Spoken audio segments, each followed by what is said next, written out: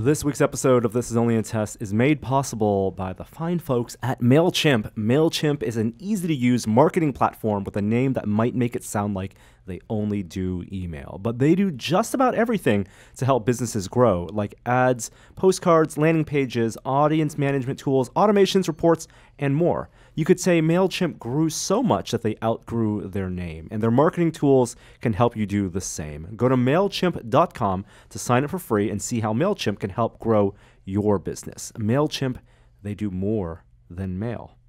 Hey, let's start the show. For Thursday, January 24th, 2019, welcome to This Is Only a Test, the official podcast of Tested.com.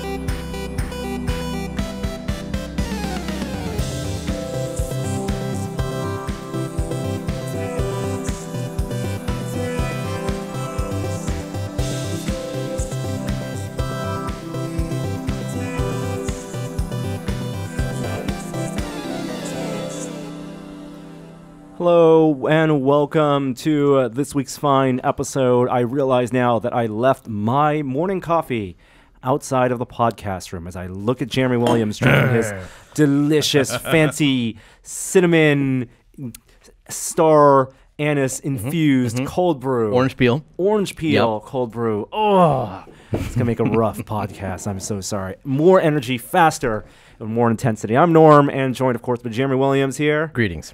And Kishore's not yet back. We thought he'd be back this week, so we have another guest. It's Patrick Norton. Welcome back to the show, Patrick. Thanks for having me. Thanks if, for coming. If you're coffeeless and surly, does that mean I have to be sort of upbeat and enthusiastic? Are we switching No. roles? I feel like I'm usually the cynical one on a, on any given podcast Please. everywhere. Stick to your guns. we'll make this work. Thanks for coming in. I think we gave you a whole 20 hours notice. No, it was like 17. It was Oh. good. It's a record low.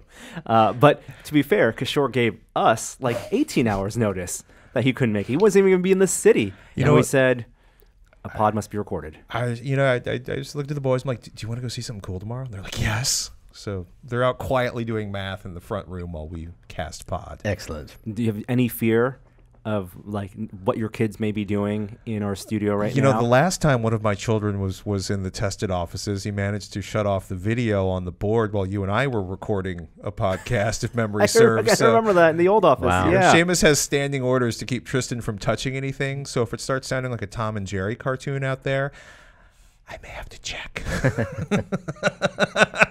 the perils of fatherhood. I went to see a show last night, and for the first time, left with Nanika, left our child back at home with my mom uh, to watch him for uh, I think four and a half hours. It might even have been five hours. And guess what? What? I didn't feel a thing. I was just happy to be out in the world. I was not anxious. How was how was Danica? Fine. We called in once during an intermission. Good the for you. Impressive. Uh, Yeah. But we were like, you know what? My mom raised three children. Mm-hmm. She's got this.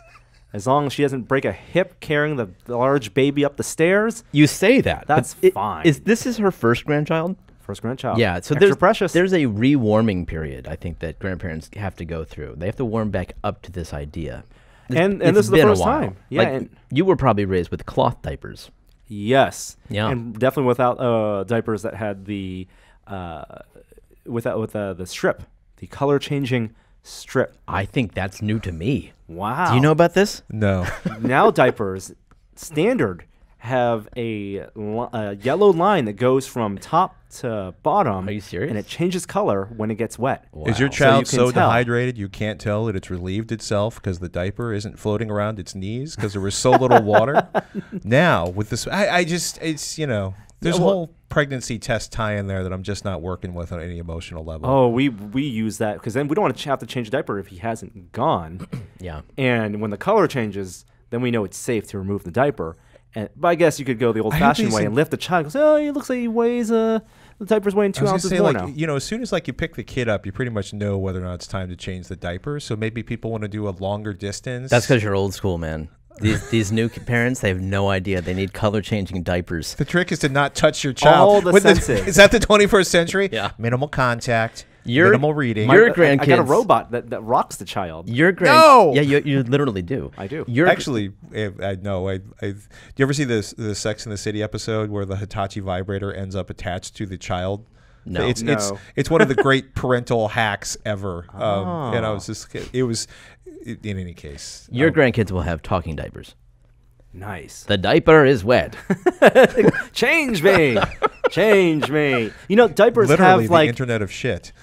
diapers have have have, have logo. Yeah, you're totally uh, have have like graphics on them, and I'm like, why do you need Elmo on the diaper when the toddler isn't forming memories yet? Like, Mo who is memory. this for? Like, if you're gonna put branding or put characters, Dude, it's- do it for me. It's for you for the next 10 years. well, the, the size zero and the size one diapers don't need No. the branding. It's they're selling. They're trying to Yes. ingrain me with Elmo Yes. and Sesame Street. That's not a value add for me. Yeah. You know, g- give me But, but something for a lot of it's it's funny because dad jokes. Put dad jokes on the diapers. that is a really awesome idea, right on the butt where they belong. Poop Yeah. emojis. Poop emojis. Th- there you go. Right. But I mean, like, I remember my wife was was very intensely anti, like, cartoon character, character branding. Yeah. Um, to the point where, like, that's why we started stenciling T-shirts because everything was so, especially like like gender coded for boys and girls when when we'd be out shopping and stuff. But it was amazing some of the reactions I got. Um, from people who are like, you haven't taken your children to Disney yet? And I'm like, no. And if I'm lucky, I'll never have to go back to Disneyland again. And it's like, more power to you if you enjoy it. But the last time I was there, I remember being like, wow, this is really expensive. And I spent half my day standing in lines with people shoving their giant pocketbooks full of God knows what into my back because they thought if they pushed me, the line would move faster. wow. And that's all I remember from my last trip to Disneyland. That and a lot of weeping people, especially adults. Usually in line trying to buy a beer for what was it, like $42 or something. Cal- California Adventure. It's the only place in Disney they sell the beers. Yeah. Uh, I will not talk about too much about the show that I went to see though, because I want to save that for next week's conversation. You don't even wanna say what it back. It was? was a Cirque du Soleil show, so I got got to see the show that you had mentioned a few weeks back, Volta, Highly recommended. and you highly recommended it, and I will now reaffirm that recommendation Mm-hmm. because it blew my mind. Uh, but the specifics you'll have to wait until uh, the following weeks when Kishore's back, and maybe even a tested video in the not too distant future. That's exciting. Yeah, yeah, a little bit of teasing there. Uh, but we've wanted to get you on the podcast for quite a while now, back on the podcast, Patrick, because you, unlike us, actually went to CES. It hasn't changed a lot since last you were there. Only the products have shifted. I've still felt the FOMO. so lay it on us. We've read the news. What was your CES experience like? What were the best things that you saw and the things that you got to see? So a lot of incremental stuff. Like three of the big takeaways for me uh, was one watching. It was interesting watching as somebody spends a lot of time talking with Robert Heron about screens on AVExcel. Watching you know LG be like, look, we have this amazing. We've done the, the roll up screen. We actually turned it into a product. We don't have a ship date. We don't have a price. Prepare to sell your car. But that was. I don't really get giddy about products anymore ever. And watching that thing is one of the coolest things I've ever seen at CES because it was just like it would you know, it's rolling up and the picture's going as it rolls up and it rolls back down. And it sounds so stupid to hear that out loud in my headphones, but it was really, really cool to see. What is the use case for that, though? Oh, so when you think about um, the vast majority of the population is living in very, very small spaces and spaces that are getting smaller. And when you look at the longevity of screens, the number one thing I, I had a conversation with Dell a few months ago, and I talked to one of their engineers, and I was like, "How do you make a, a, a screen last longer?" They're like, "Don't put a screensaver on it and shut it off." Um, you can literally triple the length of the life of your monitor, right? When you look at the terms of, of monitor decay over like LEDs, like, you know, it's, it's, you know, I think it's like if you leave it on 24 seven for three years, you've effectively reduced the brightness of the monitor by 50%. And by most standards, that's considered a, you know, time to replace the monitor. So, so simply by like not displaying anything on the monitor, um, the monitor lasts a lot longer. But what? so what, why does that need to roll up? Well, a lot of because basically a lot of people, especially if you live in a if you have a very small living room, you walk into a room or a very small room where your where your screen is, it mm-hmm. is dom like a 65 inch screen is a big black hole in most people's room. Even if ah. there's like even if the Apple TV is playing its extraordinary images of whatever or whatever you or Roku's doing its goofy. It's to make your room more aesthetically appealing. I think so. I can't do my AR when the screen's in the way because the spatial recognition Right. won't the, the won't, won't track the, the reflection off the screen. Gotcha. I mean, for people who are jumping in saying, this is crazy. People who are, have need to, for space aren't spending ten thousand dollars on TVs. You're not talking about this model. You're talking about what this technology could Yes. pretend in the future when Yeah. we it gets mass market adoption. The future of having the TV not be a fixture, a Yeah. permanent fixture when you're not using it. Yeah, because right now, when you look at like what Samsung came out with as their kind of big drop was like, you know, we have a 98 inch 8K monitor. It is massive and huge, and it will cover your wall, and you can buy a house in 49 states for what this costs. Um, you know, and they, of course, when you look at that, you've got OLED, which currently has superior contrast because you turn an OLED pixel off and it's black. It's absolutely black, and the the Samsung um, There's a micro. You're talking about micro LCDs. I'm not even Ooh. getting into micro Oh, LCDs okay. yet. Ooh, Uh, okay. but but in terms of you know, there's kind of a battle in terms of how do you define HDR and improve contrast. You know, with with the quantum dot technology, a lot of that is getting brighter light, so that what is actually a very very dark gray and not black when the pixel is quote black looks like black because everything around it is so much brighter. But Right. it was just funny to see like LG's like, look at this really crazy thing we we you know built out of a garage door opener and a box and a and a roll up OLED screen versus Samsung going, we have an even bigger screen this year and it's 8K and there's no 8K content. Um, so that was, I mean, for me, that was interesting to watch. There's a whole bunch of, of actual 4K projectors finally coming out. Um, it was weird looking at, you know, gaming was huge this year. Um, NVIDIA basically didn't spend nine hours talking about everything but the new GPU. They kind of got straight into the 2060 really quickly, which is a fantastic card. Although some people think like that should be a $200 card, not a $350 card. An argument I don't really want to play out anywhere other than the YouTube comments have already played it out in. Um, you know, it, it- Intel actually talked about the processors you know, fast and early and basically saying more cores, more performance. And, you know, their next generation um, chip architecture, they're talking about taking, you know, potential battery life from 15 hours up to 25 hours. We're talking about the not for desktop though. This, I mean, Yeah. not, not not even for high end laptop. This is all in like the All the laptops. the- well, I mean, yeah, with the, you know, the, the, the more power sipping stuff. but, yes, yes. Um, yeah, I think they have enough issues at this point with the performance laptops keeping the processors cool. Um, Dell, and I should point out the the CES coverage we did at TekThing was sponsored by Dell, but but looking at uh, Dell's uh, one fixing the delete expletive nostril cam on the XPS series, which is long. Oh overdue. yeah, this Yeah. is so the XP. The, the, let people know the Dell XPS laptops, the 13 inch, and I guess the 15 inch as well, has been very popular ultrabook alternatives Yeah. to uh, to the MacBooks. Uh, they've performed well, they look great, but the long-standing problem was that the f- uh, user-facing camera has been in the hinge. Mm-hmm. Yeah. Nostril looking as opposed to because they want the slim bezels.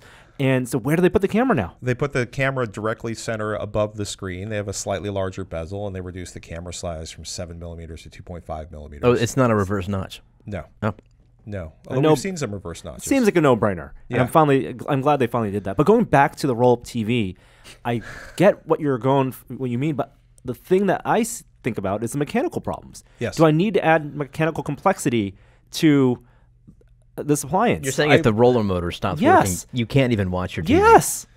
Like, why do you need that type of the gearing and, and, and not just the cost, but the maintenance required for for that? Well, what they're what they're claiming, uh, the number original number I heard was twenty thousand cycles on that, which I think even a hyperactive toddler, you know, on all of the sugar. yeah, but I mean that's like Uh, 20, what's your garage door? What's the cycles on your garage door? probably a lot less than that. Okay. But I'd have to look it up. It's been so long since I've had a garage door.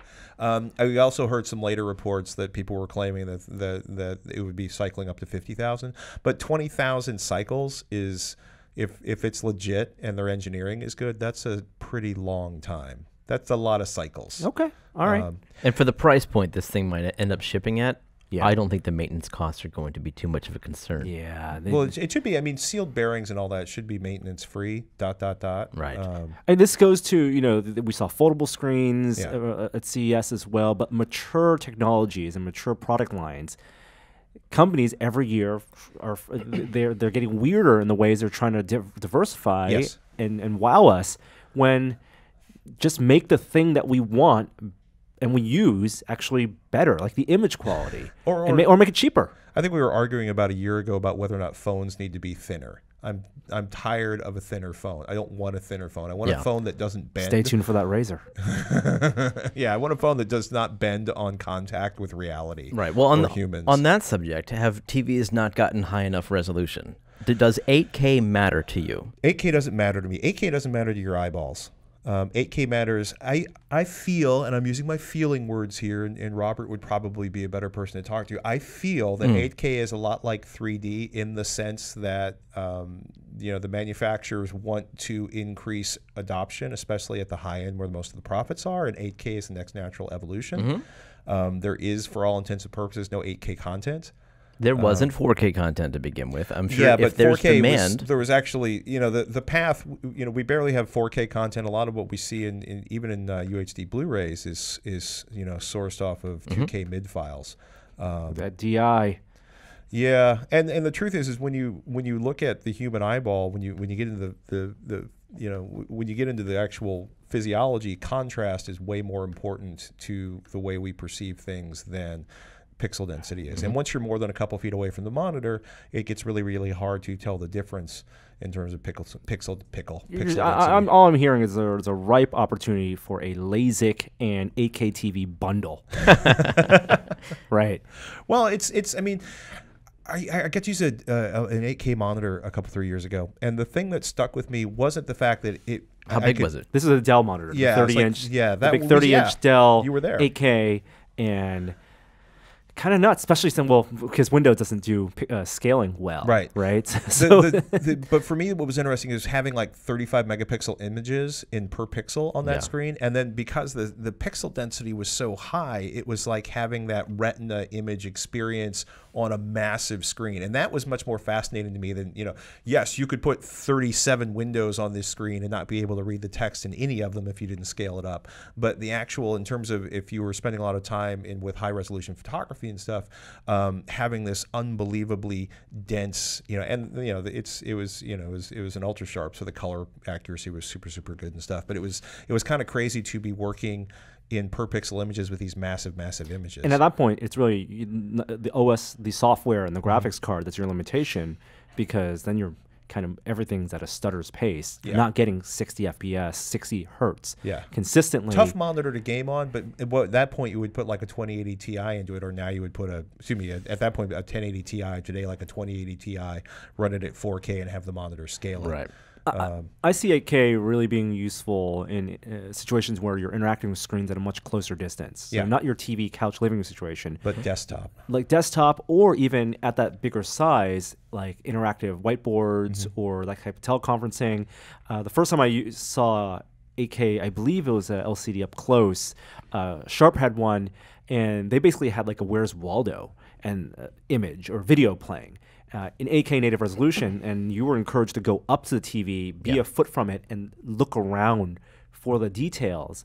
Uh, that's not the way we interact with TVs, Right. but it changes the opportunity for what type of interaction models we have with these you know super high fidelity screens. Yes. Can you tell me about the new Alienware laptop? Because I I don't understand how how is it's using PC parts. Yes. How is that possible? really big power supply. Um, I mean, literally. Um, I, so th- this is not the first time. if you're old, and I wave my hand furiously at the monitor, uh, the camera. If you're old enough, there were back in the 90s, there were people putting desktop motherboards inside of laptops. Like the battery life on these was literally, it would boot up and then the battery would run out literally about the time Windows started. That's how short, because because these were these were not power sipping processors. So what they did, again, let me point out that my CES coverage was sponsored by Dell. Yeah. Um, you know, but when you look at that that Area M51 laptop, they are essentially have put a small, like think of like a a, a, a, mini ITX scaled motherboard, right? But it is a custom motherboard, obviously. I assume it's a custom motherboard. Um, you know, they, uh, you know, I asked nicely, but they wouldn't let me take the screwdriver to. I had an iFixit box in my bag, and I was ready to start tearing that thing down. And and and I won't say his name, but he looked at me like I was on crack. Um, and so the thing takes just desktop RAM, desktop graphics card. it's desktop GPU. It's supposed to be shipping with a 2080. It's a desktop CPU. It's very Ben Heck project, like just Yeah, it- but it- cram a console into suitcase type of thing. But you, how do you you don't upgrade the graphics card because it's a different form factor? No, they're telling me it's standard graphics cards, like a standard desktop GPU. I mean, Right. look, I've, I've got a mini ITX build I'm, I'm finishing up in a in a in an S4, um, you know, uh, in a new S4 mini case, and the entire thing, right? I have a DC to DC power supply, an HDPlex power supply, which is a 400 watt power supply. That's going to run an 18x 1800X processor, and now I may actually I've, I haven't I haven't done the math yet, but I should be able to put a, a 2060 inside of that, and that's me with my staggering lack of engineering skills using Yeah. off the shelf parts. So do with this Area 51, do you actually use the HDMI port? I mean, you must, right? Because that's It has only. a 17 inch monitor on it. so, but you're plugging it in. You're plugging it into a cable inside your laptop. you know it, it's so it, it's I, I I I again they wouldn't let me they wouldn't let me take apart one Right. that was running. That's just i don't see i would you know i would imagine it would slot in or they would have a loose cable. They you know they yeah as soon as they send me one to test dude you will be the first person i call to tell you how the All right. hdmi is connected. Supposedly they are telling you off the shelf cpus and gpus will fit into this. How heavy is it? i'm guessing 9 to 10 pounds. Yeah, that's no MacBook. no but then again look at the performance yeah. um, Uh, best thing you saw at CES, Patrick? I, I was obsessed with that stupid LG roll-up monitor. Okay. I, I, that actually kind of. You like that? Me. I liked it. really? Yeah, because you know one of the reasons I like my projector is because when when I shut everything down, the screen magically rolls back up to the ceiling, and there's a wall full of, of art and pictures behind I it. hear ya. So that was really interesting. Um, So you have all the benefits of that with the benefits of being able to watch during the daytime. yeah. Yeah. Um, you know, uh, and actually, I can watch during the daytime now. The projectors are bright enough that, that unless you uh, are in the corner glass ceiling to floor apartment in Miami, uh, most projectors, most decent projectors now are bright enough to deal with. You know, You, they- you, but you must put the blinds down. I mean, it makes a difference, doesn't it?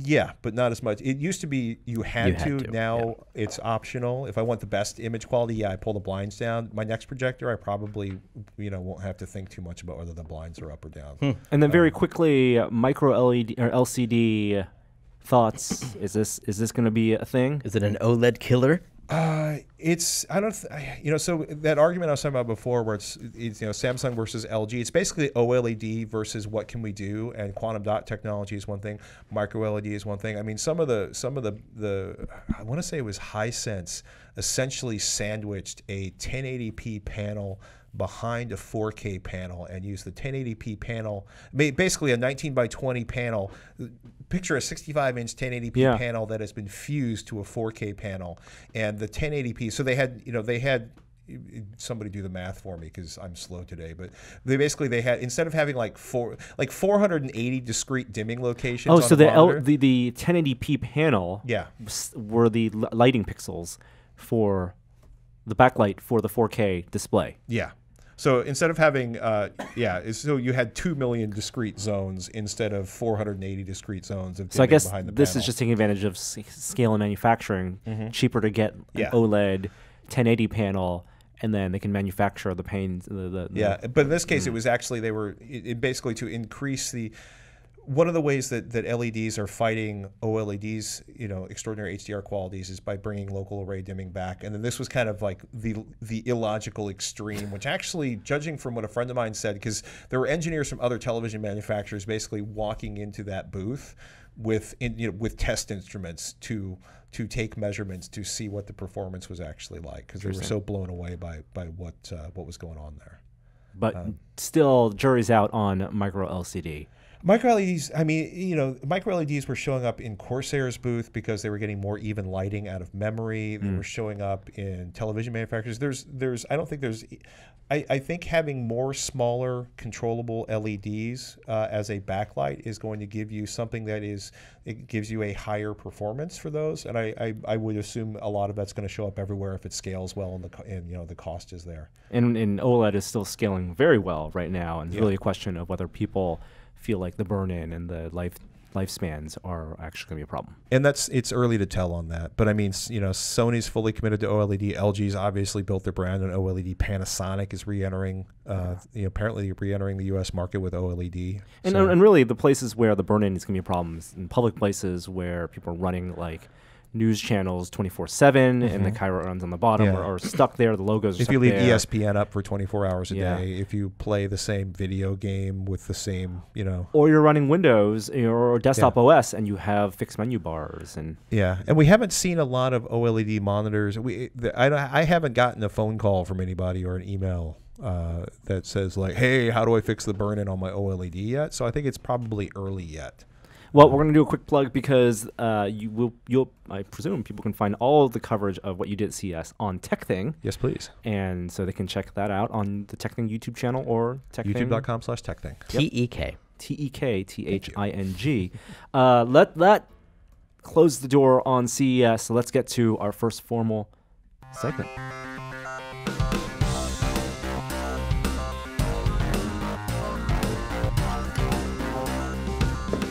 Story this week.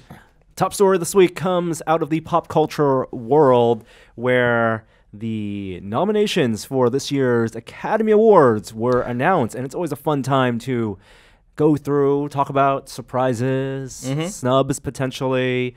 Uh, and have you guys gone through the list? And, and, and I don't know if you saw a bunch of the films. What were, what were your big takeaways from this year's crop of nominations?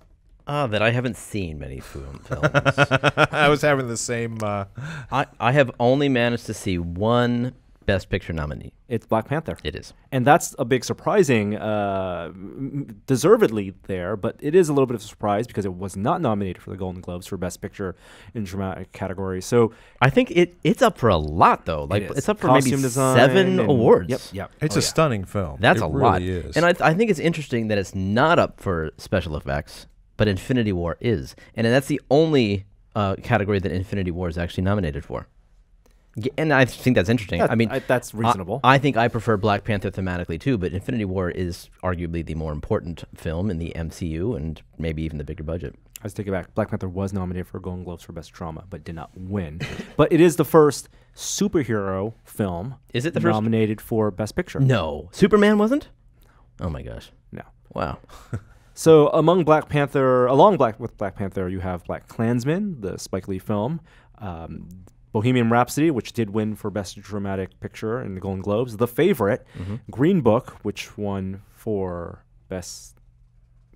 Was the other way around? They both won, Green Book and Bohemian Rhapsody. Uh, Roma, and Stars Born, and Vice. And interestingly enough, the other milestone is that Roma was nominated for Best Picture, and that is a Netflix produced, Netflix exclusive Mm-hmm. movie. Uh, and it, I guess it qualified because it was in theaters for a, a couple weeks. Oh, it Dun, had to be dun, in theaters. had to be in theaters for a couple weeks. That's interesting.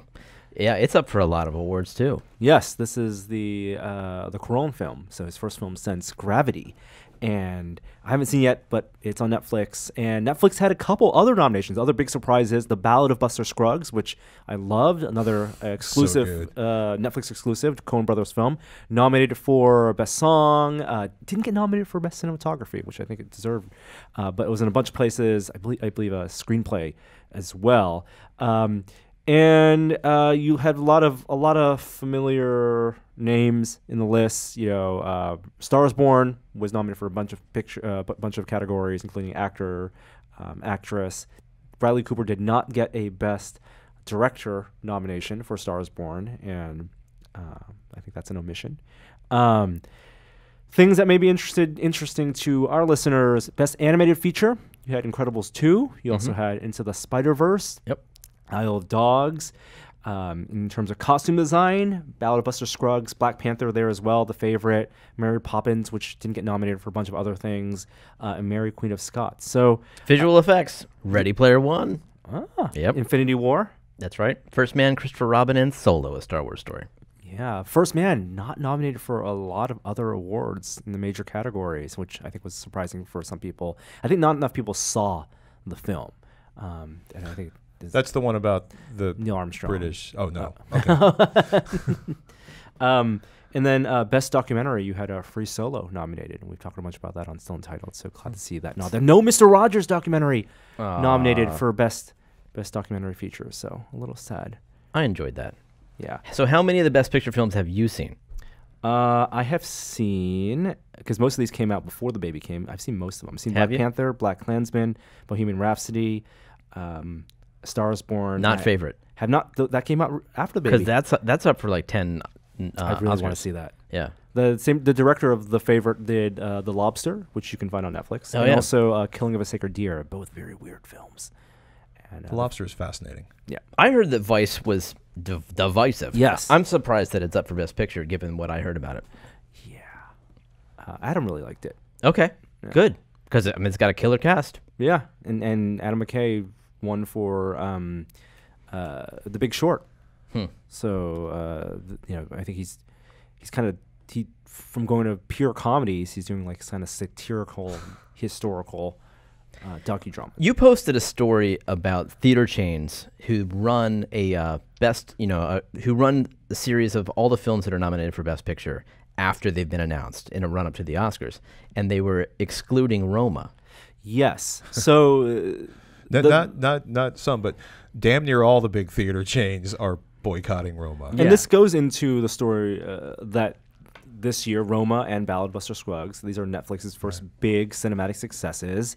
Uh, and while they've had successes in the Emmy, or uh, yeah, the Emmys for television and Golden Globes for television, and, and streaming services have, uh, the Oscars seem to be hallowed ground for for the MPAA and for uh, the for Hollywood in general. And so AMC, Regal, and Cinemark, which have done um, a lot of uh, marathons and re-releases of films because, like you said, a lot of people may not have seen these films in the Oscars, whether you care or care about who wins or not, uh, are a great way to surface films that came out in the past year that you may not have seen. Yeah. There's an opportunity to see them. Well, from the theater's perspective, Netflix is kind of destroying their business a little bit. And you, if people have Netflix, they probably can watch that movie at home. Although the filmmakers, it's kind of like a, a spit in the filmmakers' faces because those, a lot of those filmmakers would agree that these films are probably best enjoyed on the big screen, not just the big screen in your home, your living room, Roll up or otherwise. but the big screen. Uh, you know, and, and to to say basically to they're, they're talking via Netflix, but to say to the Coen Brothers, if you're going to work with Netflix, we're not going to let people see the Ballad of Buster Scruggs on the big screen, and we're not going to let people see Roma on the big screen. That sucks. that just seems a little whiny to me. It does. There's certainly a, a trajectory to the I'm business sorry. to the business models. the, the whole the, the, the theater owners being whiny is kind of tradition. I think, admittedly, for legitimate reasons, and I think also some theaters have, have worked really hard to sort of regain the trust. I mean, I can literally. it's, it's money on the table. They're Isn't just it- leaving it there. Embrace it. Why isn't the right thing to do to, to tout and celebrate the theatrical experience and to say you may have seen, you may have already seen, um, Not to mention great filmmaking. Right. Yeah. But you may have seen either of these films on your TV or on your phone because in some people, but it's a chance to rewatch them the way the filmmakers f- intended. Yeah. And Right. really see it in a different way to celebrate films. I, I it's it, it's totally. I mean, it, it is totally whiny move, especially given you know in terms of overall you know ticket sales. I think the the the Ollie, the the the Oscar premieres is probably such a tiny segment of their business. It's really petty to refuse to play it, but you know they're making their their moral stand. But I mean, when you look at this, like. I think AMC's got 8,000 screens. Um, Regal's got, you know, another like 5,500. Cinemark is 4,500. I think the next largest theater chain is under 700 screens. So literally, like, this is 20,000 theaters or theaters or 20,000 screens in the United States, and they're all basically telling. I mean, you know, Netflix just can't win. I think is what it comes down to. You know, I don't know. They don't- by they Comcast. don't really no, no, no, no, no. I don't mean in terms of the awards. I mean like Netflix, like Comcast hates them, theater owners hate them. You know, all the other competitors hate them. Consumers like them. Consumers like them. They're going to win in the business sense. Yes. They're going to get all the money. They already have a ton of money, but this is the only way the existing industry can can not give them the can hold back the one thing they It's, want but it's- legitimacy. It's, ironic though because if they did let them show the film in the theaters, people would come and pay the fifteen dollars to see it in the Right. theater Yeah. and buy the popcorn. If they're pay the $45 if they're for the making those people go home and pay the one month subscription fee, which costs the same as a movie ticket, then they're going to discover how much more they can get for their money on Netflix instead of at the movie theater, and no popcorn is sold. You know, their argument, like AMC's argument, is that the film was never licensed. They didn't go through the proper channels because, you know, there's a whole behind the scenes negotiations that take place for what movies can appear. You know, it's not just if you release a film as a studio, it, you have the right to play it in a, a theater. It's all business, right? Deals are made. Business. It's all business. Uh, and speaking of business and Netflix and Hollywood, Netflix is now started the process of applying to be part of the MPAA, the Motion Picture Association of America. You know that logo that you see in front Mm-hmm. Yeah. of trailers. I love that we- logo. We might see that in front of Netflix. Will they adopt the rating system? I, The rating system is such a joke, but let's No. not go down that route. They might have to if they want that kind of legitimacy. It's it's a lobbying group, so like you know, it's it's to have their interests represented along with Hollywood's in uh, in Washington, um, and it is another step to the perception that they are a legitimate film production studio, Yeah. along with your Warner Brothers and your Universals, uh, even though you know revenue wise. I mean, it's also- money. There's a slot opening up, right, with 20th Century Fox being bought by Disney. I don't think this, it was. I don't think it's like a, It's a a- Justice League they style. only have so many memberships. at- ah, at the the round table, table. yeah. yeah. It's, it's, it's shaped like a giant film reel. Yeah. right. And Netflix is like, we don't shoot on film anymore. How about a memory card? Neither does anyone else. Uh, Netflix to to stoke more fire to the flames uh, has publicly said they don't even see their their competitors aren't aren't the big studios. Mm-hmm. Their big rival is not even HBO. Your Amazon Prime. pff, Is it te- is it tested? No, No, it's, it's not, it's not. not even YouTube. Oh, okay. No, Oh. uh, it's Fortnite. Netflix's biggest, their biggest, they see their biggest threat Yeah. In for eyeballs and your Right. time and your kids' time, the next generation's time, Generation Z, whatever post millennial millennials. Yeah. It's Fortnite. But about time they saw. I mean, didn't they see this at Missile Command? I mean, but I mean, but, but I mean that was also. But this was this was this is a conversation that people at cable companies were having 20 years ago. They were like, the internet is the competition, and video games, and Yeah. and you know, and and kids doing drugs in the woods, and you know, it's it's it's. I think this is disingenuous. like they're basically. Well, you laugh, right? But it's Yeah. you know that was one of the things somebody said in the in a conversation with a bunch of executives they shouldn't have but the uh, you know and drinking and fornicating but when you when you look at when you look at like Netflix saying this right now, I think they're just trying to draw attention away from the fact that man, it's real close to that new Disney slash Marvel channel, and all these other studios are starting their channels, and Movies Anywhere is out there and making it easy to to move paid movies away from the subscription model. And oh my goodness, you know, like like I love the Criterion Collection. The Criterion Collection has announced that they're starting their own streaming channel with a monthly fee. So one of the big things that the thing that made you know Netflix so successful so fast in so many ways was it, you know a deal for the online distribution rights from Starz and having all of these movies that was that were on the Starz catalog. And then when that deal ended you know it was everybody bought on the hammer to beat on Netflix. And I understand why they did that because Netflix got those those those online reproduction rights uh, from their Starz deal for basically nothing compared to what other people were paying. And more power to them for finding that deal and making it happen. But now we're looking at this total diaspora where every or or maybe you know return emigration where all of the, the studios like disney's like yeah you, we, we can do this. We, we bought the mlb technology. We have amazing streaming technology. We can bring all of our titles into our house and then gentle parent you can pay 15 to 4000 dollars to us a month for the right to stream your children's favorite movie over and over again and they can come one step closer to the every movie theaters and every record company's dream which is making you pay every time you watch a movie or see uh, or listen to a song. And yeah, I'm exaggerating, but literally, I've been in rooms with people there where they've literally been like, you know, we'd really prefer not to ever distribute on physical media or lose the rights again. Think like about that is that, the dream, right? Like the, the the business people were so they were again they're so angry at the fact that people got to buy something Yeah. once and then watch and use it for in- indefinitely. and sell it. and and and and, sell but even even the without the selling it part like when do we get to a point where you know you're you're paying i guess we are getting there for subscriptions for video games right, as opposed to buying the one game once for 60 bucks and then and then playing the entire game. You have all forms of microtransactions and Yeah. subscriptions and dlcs and season passes. Right. because it's all about that long tail. It's not, it's it's it's the revenue per user it's the arpu Yeah, I mean the the the, the you know the the first sale doctrine. I mean that was fought to the Supreme Court back in 2013, or that that finally was decided in the Supreme Court because basically somebody was like, "You, we sold it to you. You can't resell it to someone else. Someone needs to buy it fresh again from us." And I get, you know, that's that would have been a if they'd won that court case, life would have gotten a lot more expensive for everybody.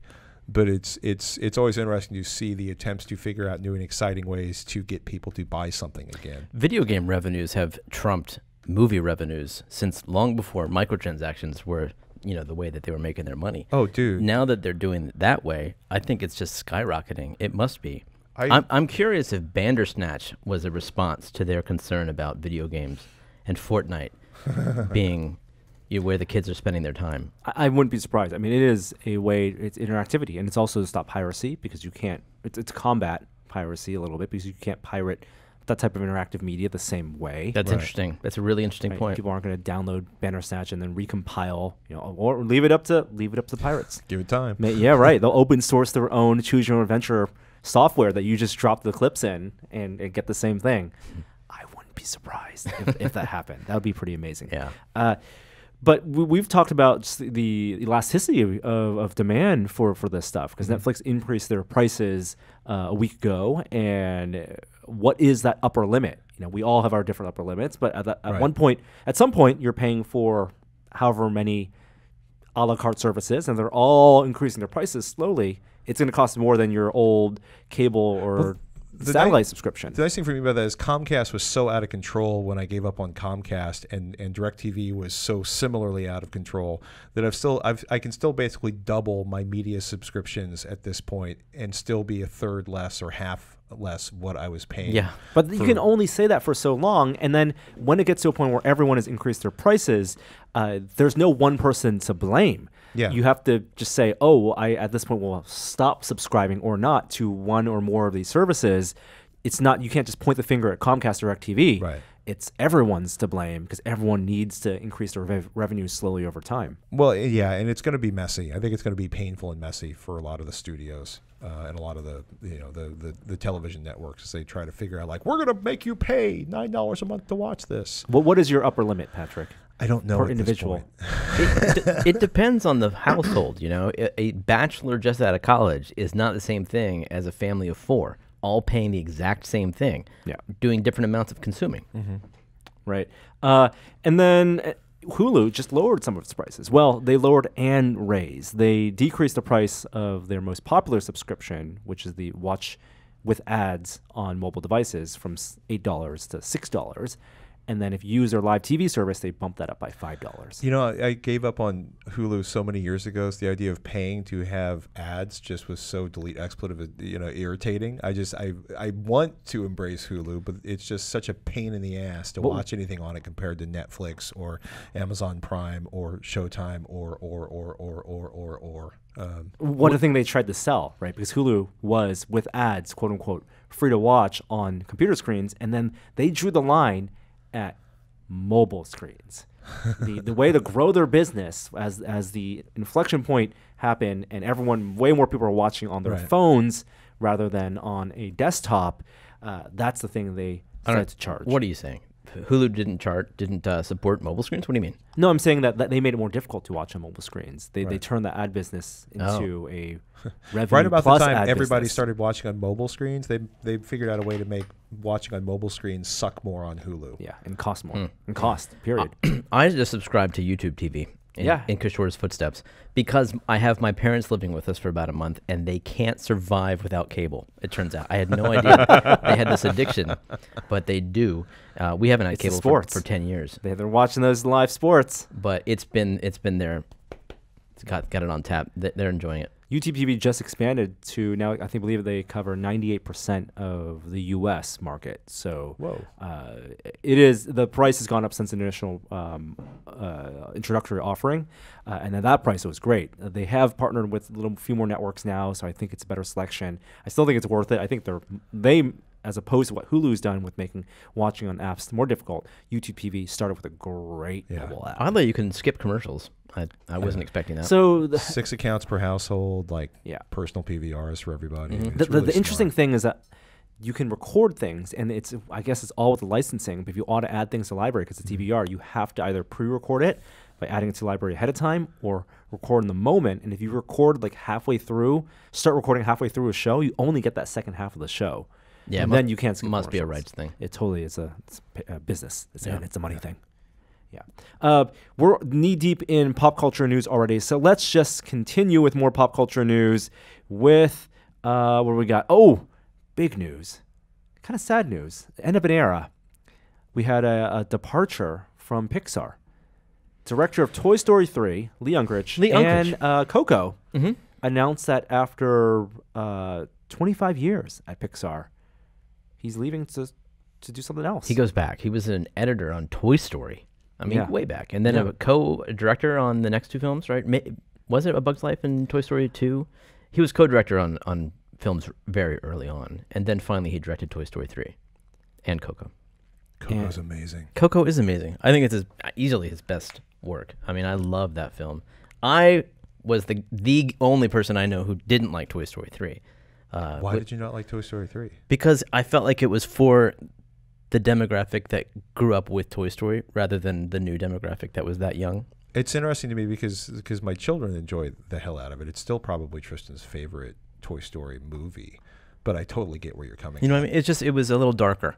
I mean, this comes on the wave of you know, some interesting shakeups in the animation industry. Right. Of course, we have a uh, the big kind of uh, this uh, controversial news. We'll say it that uh, John Lasseter was hired by Skydance uh, to head up their animation department. Now, what have Skydance made?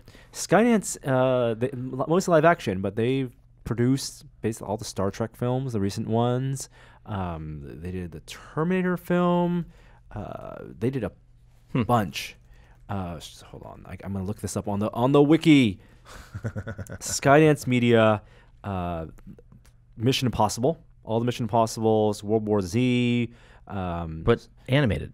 Anything? no, no, they, they don't exactly. So this is a new department. New department. department. Oh. Skydance Animation I mean, God. and uh, they have an inter- they did they did a VR game. They did that mech game, uh, Archangel. I mean, it's like hiring Walt Disney. So the question is whether they are going to wh- whether Lee Unkrich left because he was poached potentially. Whether we'll s- hear news. Well, in a he's couple saying weeks. he's leaving to to spend time with his family, and everybody says I'm leaving to spend time with my No, family. he expressly said he wasn't going to work for another studio. yeah, and that mm. was interesting to me, and that he's he's looking at backburnered project. It's also it's like Well, then let's hope he just builds up his Shining fan site because we know he's a huge fan of The Shining. The Shining. he and Adam Yeah. are both obsessed with The Shining, and Yeah. I want the creative energies that he's He- put in Pixar. he's a collector, right? He- He, he's yeah. to- yeah, he's a he's a replica prop builder. He's yeah. oh wow, Um, he's also 51, well deserving of a retirement. Uh, I think that's a wonderful decision. I'm surprised he hasn't done it sooner. well you know he had Coco. I'm, had- but Coco What- came what a out note to a couple on. years now. I, I know, but it's like I mean it's it, I, I'm with you, but Yeah. it's like you know uh, how many people have have Just last year. Uh, Well, yeah, but and, and there's been some cases where directors have have, really, have continued to release some amazing movies in their 60s, 70s, or 80s. But I can also see like, man, 25 years, like the craziest 25 years at Pixar. Yeah. The absolute craziest 25 years. He's you know, he's built this extraordinary movie. Um, you know, made nearly a billion dollars worldwide. I can totally be like, yeah, mic drop. Toy Story 3 made over a billion dollars. Yeah, but I'm, I'm thinking of Coco. Like Yeah, Toy, yeah, right. he- Toy Story three. He was certainly part of Toy Story three at the beginning, but but you know I think Coco is being his like you know in terms of like his auteur, his vision. Like Yeah, man. it is this incredible story. Yes. Um, you know, and and you know, the whole just just the whole thing from beginning to end is just so epic. And I can totally see him being like, okay, I'm good. I'll you know when I'm inspired to you know when I have something that moves me at this level or that will move the audience at this level, you know, I'm sure he, he'll basically walk into a room and somebody will cut him a check to go make a movie. Yeah, but none of the other, no other director has done that at Pixar. Walked away. Yeah. Well, everybody, no, it's not because I, I seem to remember a guy who did a bunch of movies with a lot of violence and a lot of visual references. You know what I mean? Like how Pixar? Many, how What are many, you talking about? Not at Pixar, but I mean, I'm thinking of, of Quentin Tarantino. There's there's been directors who have walked away, or there's been directors who have been What are you forced talking about? out. Quentin's directing the next Star Trek. I understand that, but but Quentin basically like was like I'm done, and then like 18, Yeah. 20 minutes later was like I'm I s- back. I see what you're saying. Um, you know, Martin Steven Scorsese. Soderbergh. Yeah, yeah, you know, Soderbergh like walked away and came back. You know, Scorsese didn't walk away; he was shoved out the door uh, with a bunch of directors of his generation. But then he came back and did some of his most extraordinary work. I think I, I, if you take him at his word, he's a family man. He wants to spend time with his family, and he can. I, I think him. that people with that creative can't not be creative and will need a, an outlet for their, Uh-oh. their creative energies. Uh oh. Can't stop it. Can't stop it. Adam Can't Savage and Lee won't stop. Unkrich bring you The Shining Land here in beautiful Butte, Montana. You can experience The Shining on a personal level, heretofore never been experienced, even for the actors themselves. That's terrifying. All family and no screenwriting make Leah. I saw the, I, I saw The Shining when I was like eight, way too young. It affected me deeply. I understand the I, feeling. I showed my 11 year old The Sixth Sense recently, and we didn't make it all the way through. I forgot how terrifying It's that scary. film is. It's really scary. It is really scary. Yeah. Yeah. Uh, so, okay, let's move on to some movie trailers. Talk about three trailers that came out this week. One, John Wick, the big one. John Wick 3, Yes! Parabellum. I am embarrassingly excited about this movie. Okay. Really? Yeah. Did you? Did, and I never saw the second one. What? No, because I. I mean, I'm. The, I don't know. Don't get me wrong. I- Everything that needed to be said was said in it. the first movie. it's okay. I grew up. There's there's there's one place where suspension of disbelief still Yeah. works for me. Occasionally in video games. I can't like you know I can read a story, but I majored in literature. I make television. I'm always thinking about the shot and the choices of the people that are Yeah. making the editing and stuff. Movies, for some reason, I turn into a gaping hole of joy at being like in the moment with the movie. It just happens. It's really kind of cool. It's the only place I can shut down. Um, and it's the only place I can become fully in for whatever reason, like all of the stuff I'm thinking about when I watch television or a YouTube video or another video online, I don't do that level of, of analysis if it's a good story when I'm watching a movie, at least not the first time. So the John Wick movies for me Yep. are complete, like they are, you know, what I mean, like they're not even a Wawa pretzel. Like they're not even a Philly pretzel in terms of nutrition. I get it. Like these are these are you know I, this is this is like me with a bottle of Karo syrup being like waiting for the candy company to Yeah. turn this into something that Right. tastes like something is not worthy for me. Except that they're I love I like the whole the the gun fu thing, the stupid underground killer culture. Like everything goes along with the movies. In in just watching, you know the actors. Like I'll watch Ian McShane read a phone book, dude. Like Keanu Reeves, like this is the kind of stuff where Keanu Reeves becomes absolutely magnificent to watch. Um, you It's. know. I like the choreography and I like the cinematography. And you're right. The a lot of the characters are really good characters. But I just I gunplay does not excite me. If this was a kung fu version of the same film, I would be so much more on board. But he hits people and he whips them around in jujitsu moves while Not he's enough. shooting them. Not you know. enough. Hey, hey, it look, was it was the gun scenes in the Matrix that I found most boring. You know? Yeah, I can understand that, and it's also, I'll be honest with you, like, you know, pure action. Like, I can't, like, I, I'm, I'm horrified because I'm like, oh, I Bumblebee may actually be worth watching. Like, I literally have not bothered with the Transformers movie because it's like, oh god, another Michael Bay thing. Michael Bay, you know, Michael Bay, the man who took like two of the best actors of their generation uh, and a really, really good backstory and turned it into like one of the most boring heist movies ever made. I mean, like, no, uh, sorry if there's a lot of huge Michael Bay fans out there, but like, yeah, I get, I get at one level, like endless gun battles are stupid and boring, but with the the Wick stuff, it actually works for me. Yeah. I don't know why. I would love to see the John Wick with no guns. The, just the martial arts one. I think John there's, I think there's for room for both. That's what I'm there's, saying. There's room for both. I'm just saying once John Wick 3 ends, let's take the, the, the choreography and- Great. And, and bring back the kind of martial arts movies we were. That would be amazing. John Wick Four, Man with a Pencil. yes. John Wick Five. And I don't mean to take anything away. I've seen the videos about how well he trains for these films. Yes. It's intense. Yeah. Props. But more, dogs, attack dogs in this one. yeah, The that looks intense. The dogs get into it. Yeah, like Dog foo. I'm not sure I want to be that stuntman. Yeah. you probably don't. No. yeah. I love dogs, by the way. Thumbs up, thumbs down. Oh, I haven't seen it yet. But and I love Wes It's on Netflix. I know. I know. I have no excuse. I, I will see it. So uh, we mentioned last week that surprise announcement: Jason Reitman is directing a Ghostbusters sequel. Well, let's just call it Ghostbusters Three at this Right. point, right? It's it's going to be the follow up to the original two films, Mm-hmm. and in, set in that universe. And there is Moments after our podcast. a teaser trailer. Yeah, it almost feels like a fan made trailer. You It know, does. It's like because it uses music from the original film, uses sound effects from the original films, and it, it's it's shot and the all of the special effects they just feel like they were made in 1985 or whenever that the film was. I mean, they, they feel like they're drawn. They and it has the Ecto One, but just enough of it to get you excited. But all of the effects of the sparks coming from the uh, the plasma, what is it called? The It totally could be a Spielberg Proton pack? Proton Pack. from the 80s. It feels like they care. It feels like Yeah. they're tr- they're true to the original special effects. The, the fanboys have spoken. Yes. It, it doesn't feel like this was something that they cobbled together because the the surprise the was. I, I think all that little surprise news last week was very carefully planned by marketing by Sony marketing. Oh, really? And because this film's shooting and coming out next year. Right. So this isn't like Yeah. you know oh there's rumors that's happening. It's like it's happening, and let's announce this in a way that will shock people, and then have this prepared callback trailer release very soon after. Um, not a proper teaser. I'd call it. It's a true teaser, not How not, not not a teaser in the uh, what Yes. we've come to see No. teasers as. Yes, the this mini trailers. This is a true teaser. Yeah, and I really dug it. I am officially teased. There you go. All right, uh, I'm super excited also for a superhero film in the DC universe coming out this year. We saw a new uh, TV trailer for it. It's Shazam. That hasn't come out yet. Man, No, hasn't come out yet. when's it come out? I believe in March. Wow. Against. Captain Marvel, that's a tough launch. Captain Marvel is like March seventh. April. Sorry. And the funny thing is that Shazam is also Captain Marvel. No, like stop in the. DC No, comics, No, no, no, don't- don't- Shazam make my brain melt. name.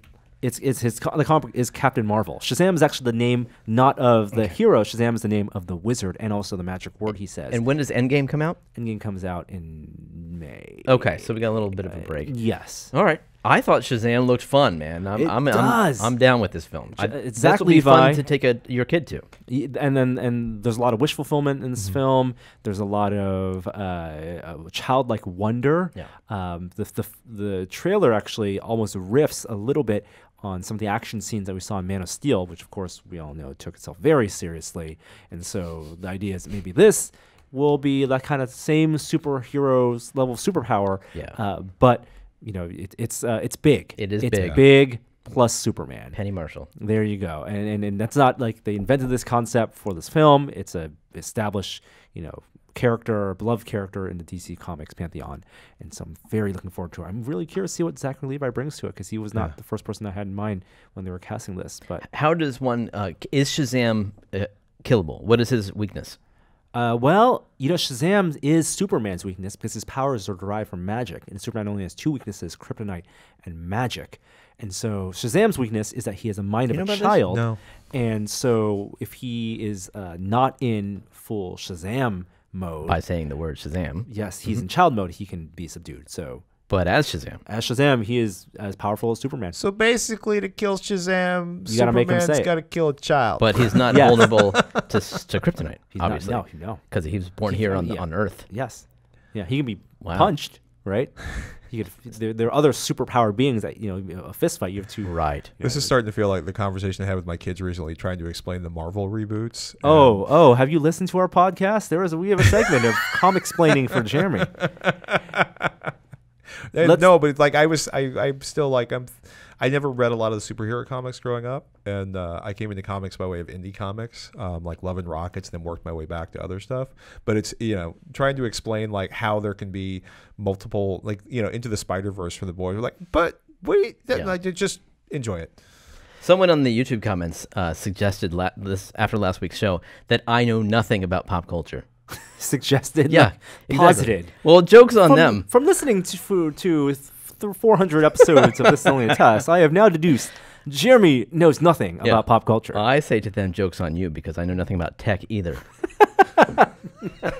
Nice. well, one final trailer Do you want to talk about: uh, Brightburn. Have you seen this? Brightburn. No. Okay, I'm going to talk about the trailer while you guys should watch it. Okay. And you don't need the audio to watch it.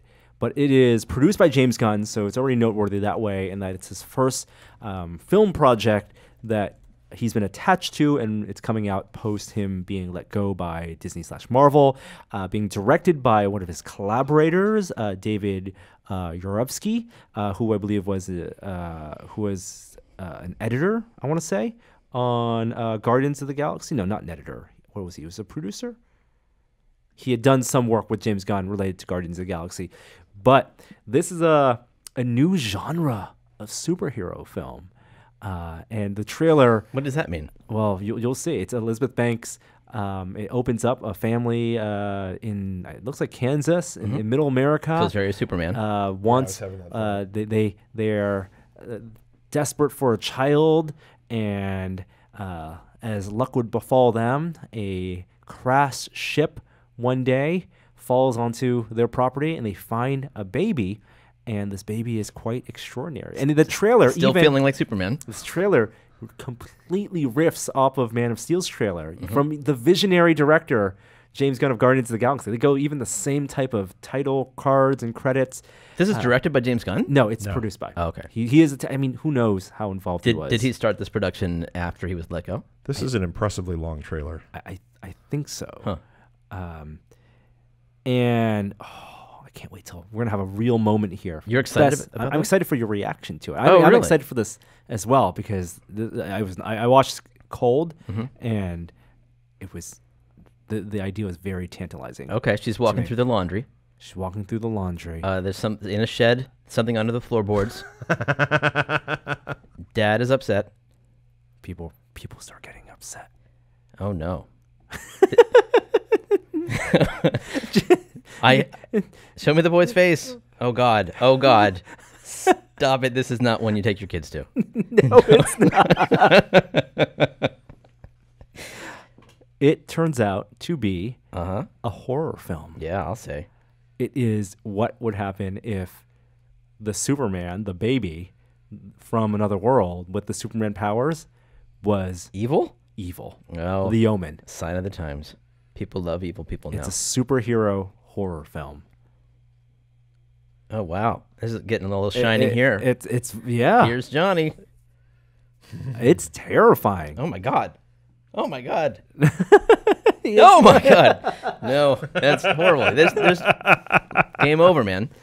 Can't fight that baby. No, I- it, that's that's how how, how, Shazam! that Shazam! Shazam! how, how does that movie end? Yeah. Right? Like this child, it, it cannot end well No. when you have a a, a crazy serial killer who's also a child with superpowers. It'll be like a Werner Herzog movie where everyone feels dirty and sad at the end when they leave the theater. Did you guys see Chronicle?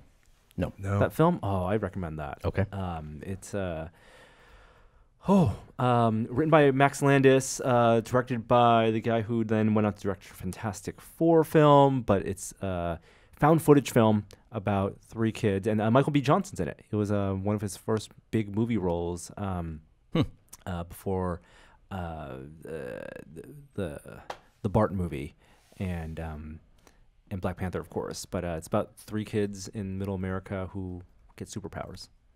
That's all I'll say Chronicle. Chronicle. Okay. Highly recommended. Very cool. Um, but has has a similar tone All right. to this.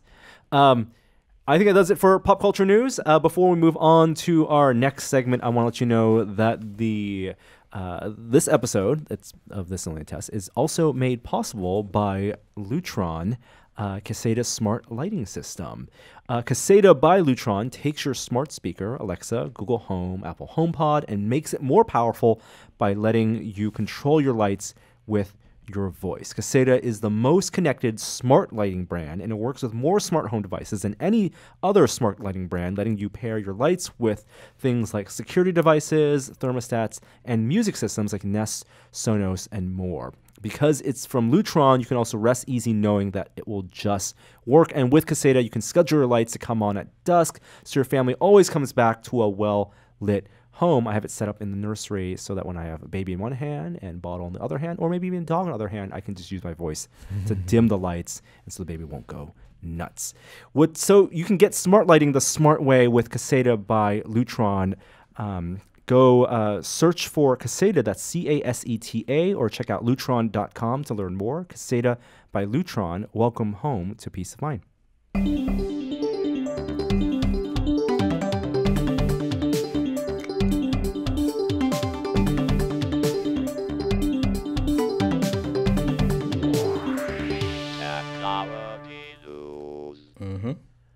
Alrighty, so we did a bunch of uh, a bunch of tech news already. Oh my God, my show notes just Did we? Did we- did we- Well, we talked about CES a bunch, Dip our toe in here. Oh yeah. Okay. right? Oh my God, What's wrong? I lost all of my show notes. I have no idea. Jeremy, you got to lead us in. Oh nope, nope. Control Shift T. Uh, What's that do? Is that reopen tab? Reopen your closed tabs. Nicely done. Control Shift T. It's it's it's very useful. It's one of my favorite, love li- it. less known It's an undo that shortcuts. is to kill all undos. It's one yeah, wonderful. Yeah. yeah. Um, so, uh, assuming for people who watch this on YouTube, you're you watch your content on YouTube. Uh, one of the channels that you might have subscribed to was Machinima. We're big fans of Machinima. They were one of the the massive YouTube channel, one of the first ones who did um, lots of game coverage, let's plays. You know, kind of really exploded. It used to be about machinima. It used to be about yeah. The, the word Machinima is about animation. It's really. about making like storytelling within game engines. yes, Yeah. using things like what was the first Machinima you, you saw? Red versus blue, Blue, maybe. I mean, that was a big one. I don't know if it was the first. I saw some like Quake One machinima. Quake One. That was pretty funny. Quake t- Two was my first Machinima, and that was when you would download maps, download assets like textures, Mm-hmm. you had to and watch them like real time. and and you could render it and play it on your own computer, Like a demo. Like it was you played a demo, and you'd have voice, there would be wave files Whoa. with voice acting. Oh, Yeah, that's neat. there was a whole like sitcom that I Yeah. downloaded and played in Quake, and it was all it wasn't it didn't look like photorealistic, of course. It was also Quake textures, Right. So it'd still like be like Quake guy walking around, Yeah, but no compre- no compression artifacts. But but it would be at running at a glorious resolution of 1024 by 768, Whatever you got. and um, and I thought that was the future. I was like, this is how we're going to watch animation. Yeah. going forward. It's how animation's going to happen. I wanted to make a tool. Like after watching Machinima, I was like, there should be a game engine that's made for making movies, like in real time. Well, like- Quake 3, what uh, I believe um, Anna Kang uh, did uh, from id Software was create uh, machinima tools with Quake and, Oh, and made a short film that. Yeah. using That's Quake, right. Quake 3. Yeah. Um, and back with the Quake 2 stuff, uh, the way they would film this stuff was all like ghost cameras. You would have like another player in a multiplayer match essentially. Yeah. Like stand off, and they would call in and get people from the community to be extras. Right. Like we'd all jump in, eight players, and give people roles, and you would act. But the problem was the camera was always limited to whatever Yes. the game, whatever served the game. yes, of course. Yes, Yeah. the field of view and FOV and like all, Well, all the that movements, stuff. yeah. And yeah, and like your camera movements would be WASD, and, and you wouldn't get fancy camera moves. There wasn't VR filmmaking. Right. But machinima, to some extent, is the, the idea of rendering real time assets is what is happening with VR filmmaking, right? Like Oh yeah, no, I've told Will you've now made that tool. Yeah, Yeah. yeah. You you animate in real time, and you bring digital characters that have have that previously would have been hand framed animated, and and still to this day, places like Pixar are hand frame anim- frame by frame hand animated. Uh, you can do that with positional capture, with performance capture, essentially. They do keyframe. Yes, they, yeah. Yeah. Uh, so, but Machinima the website Yes, different. Different, born out of that. I started for that tangent. We went through a, a nostalgic deep dive. It's important. It's the Yes, word. Yes. Words mean Uh, something. The, the site, the YouTube channel went Yeah. dark. Is it still dark? It is still dark. It went private. What and that- all of their mean, partners and all of their videos basically are gone. Which is, that's kind of a big deal. I- I- I mean, we think of these institutions um, on the internet, you know, websites and big YouTube channels Mm-hmm. and, um, and, and and just big brands that we have grown to love and the people we follow as like because it's on the internet because we have infinite media and infinite storage these it will be a repository for all content forever that's just not the case It's especially tricky with YouTube because that content is so hard to back up. It's expensive. Yeah, to yeah. back up. And you just trust these companies like Google and YouTube to to hold on to it. Yeah. And oh, it's they're not still it- holding on to it. It's still sitting there. right, and it's it's not the Google and YouTube. It's whoever owns the content right Yeah. now that Yeah. you know chooses. To, But you, like you had ar- you have archive.org for traditional websites and a lot of images are backed up Right. there as well as the HTML. But, But It, it doesn't it varies scrape. a lot because the other thing is, is a lot of the. It's been interesting because people have told me that a lot of what content or uh, uh, archive.org backs up, like we don't have access to the vast majority of what it's scraped, and you know the experience having spent a bunch of time, especially in some stories I worked on like a year ago, where I was tracing back what companies said about their products at different times. Yeah. it's interesting to see what does kind of get or how deep it goes in certain websites and stuff. But when you look at when you look at you know content creators who've maybe been running four, five, six, seven years, have been doing have gone from maybe a video a week to three to five videos a week. Uh, if they haven't archived their stuff, or if they thought of YouTube as their archive, if they went with an MVNO and the MVNO basically it's you know what, it's- what's that?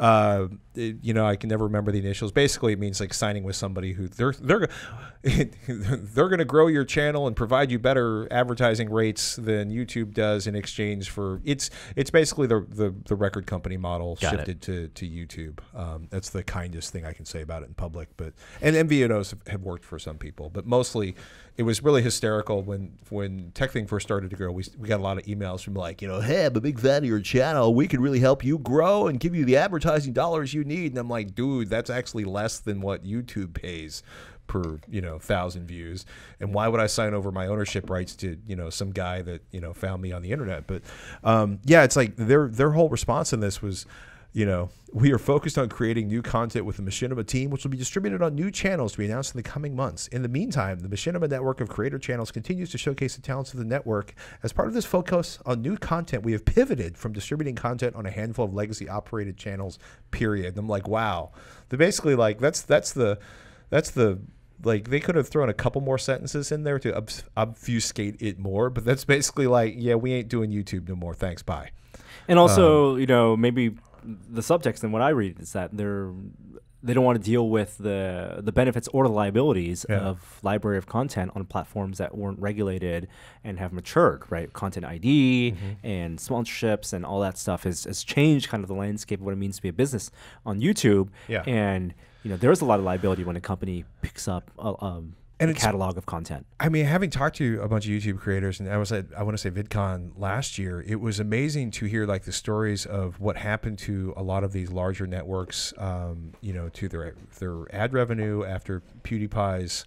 You know, PewDiePie makes inappropriate humor, and YouTube loses fifty percent of its revenue in the adpocalypse, and the challenges that a lot of these companies had. Like, oh, we went through a story where this this this company that basically aggregates, or this channel that aggregated video, kind of like America's Funniest Home Videos, except for YouTube, and they would like purchase the rights and host the video, and they had like some crazy number, like thirty percent of their content was flagged basically overnight and one of it was you know they're like okay we have a pigeon behaving weirdly before jumping off the side of this building. Like why why was this flagged? And then it working out that like you know you know it, pigeon jumping sounded like person jumping and person jumping would be something that you know would be suicide which advertisers wouldn't want to be there. And they literally had to like go through in some cases and individually kind of like no no no no no this this is what it's actually about. And then you know their youtube contact being like well perhaps you could change the title to this. And like it's just it's you know they have all of these creators all of these contracts all of this content a wildly fluctuating you know it's, it's got to be difficult to predict the value uh, of this depending on like you know are any of these old videos still being watched? You know are they making any money off of them? Do they want to deal with the trouble? But it's also really brutal because yeah people's entire catalogs just like vaporized Like GeoCities all over again. you know that's not that's that's a pretty uh, apt analogy. And and it, it, reminds us of how ephemeral all of this, this stuff is. And like we think of media as being permanent and being documents of record.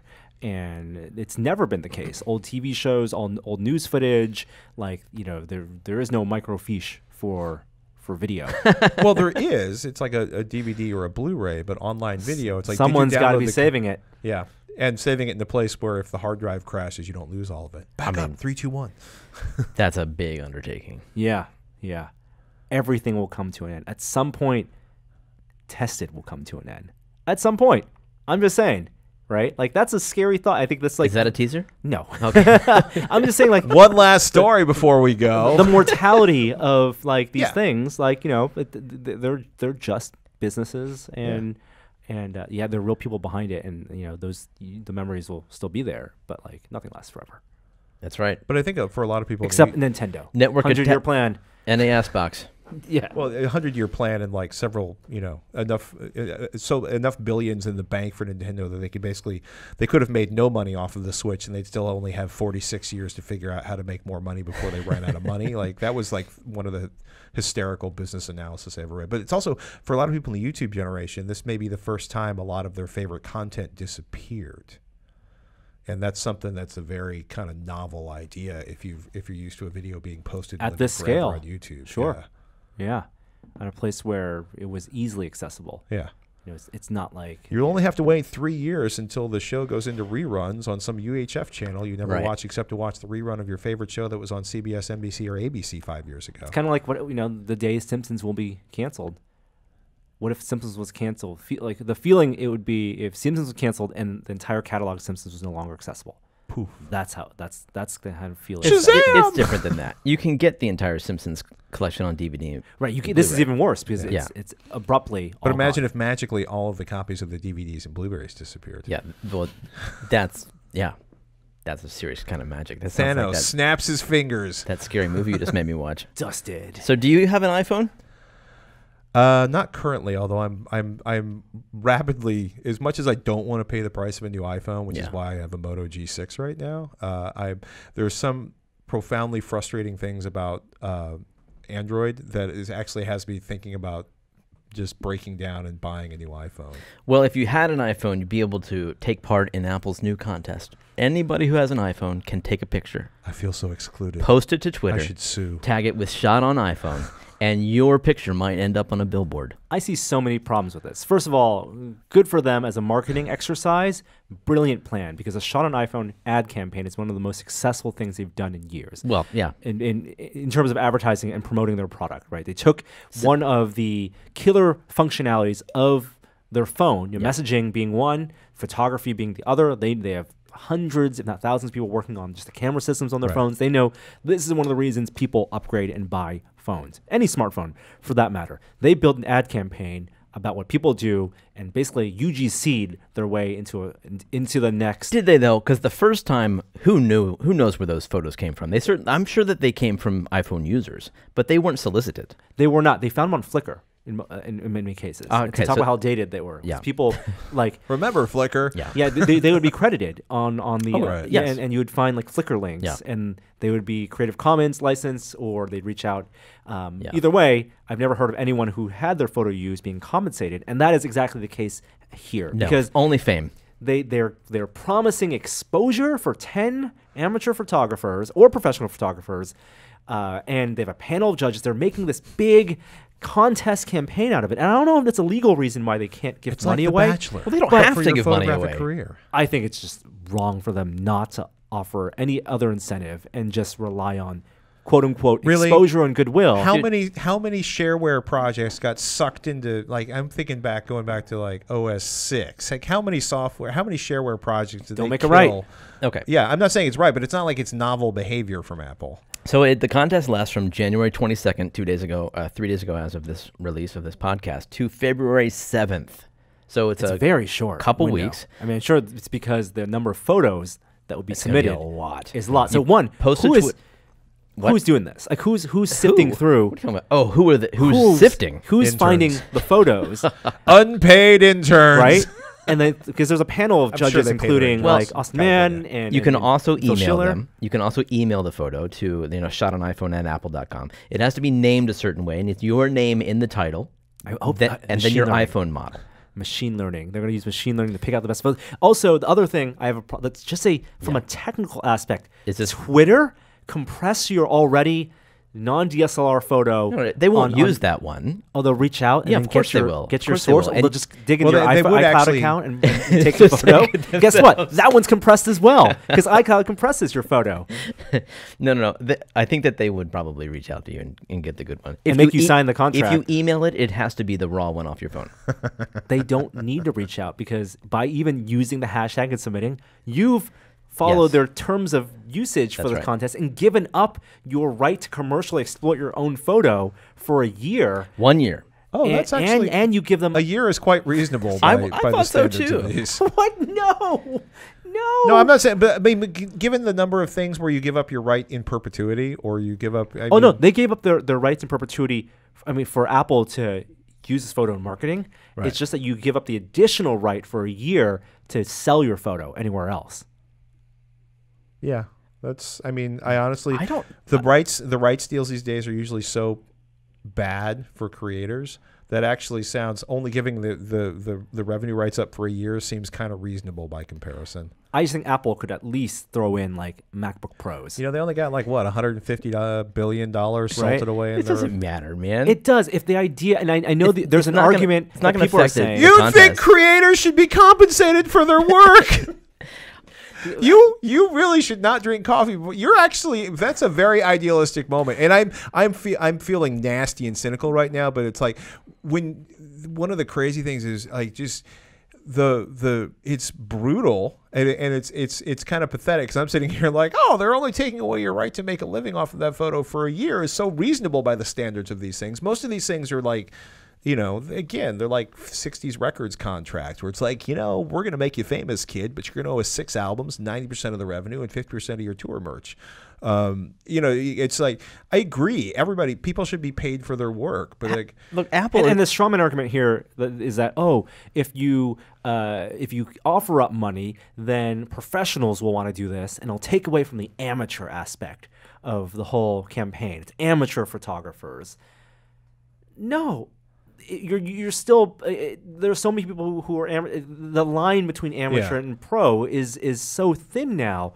And if the idea is to celebrate the work of people who are using your products and, and love your products in an interesting way, you know, give back a little bit, even Yeah. just the gear, right? Like you don't have to use Lightroom, use whatever aperture, but give them MacBook Pro so they can become professional photographers. But this, I mean, this is also a classic Apple moment where it's, you know, they are so big and so important and they are so, you know, self actualized in their own perverse way that why would anybody want anything other than our blessing to know that their photography is considered good enough for an You Apple guys, campaign? you guys are being too hard on this. They, look, Apple does not care about 10 MacBook Pros. They don't even know they that's a True. They wouldn't notice that. it's an inventory. They wouldn't even know what a proper re- award would be. It's like, should That's it be not 10 an excuse. $10,000? That means nothing Uh, to us. They do know exactly what the award should be because they pay their marketing companies and their advertising companies Yeah. pay license fees when they license photos and when they pay Yeah. cinematographers to make What I'm saying is the, it's not a money issue. Apple's not being frugal here and cheap. They they just they haven't done it for whatever reason, and I don't think that it's necessarily bad.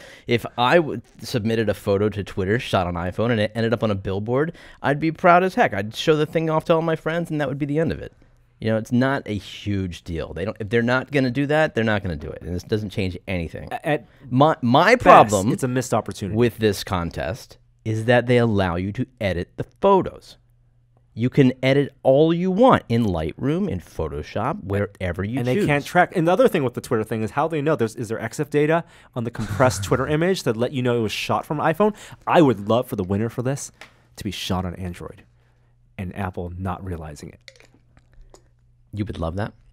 That would be the the equivalent of the tweeted on iPhone for for photos. Just edit the metadata. And Yeah. just make like it look reaching in like- my bag for my A6000.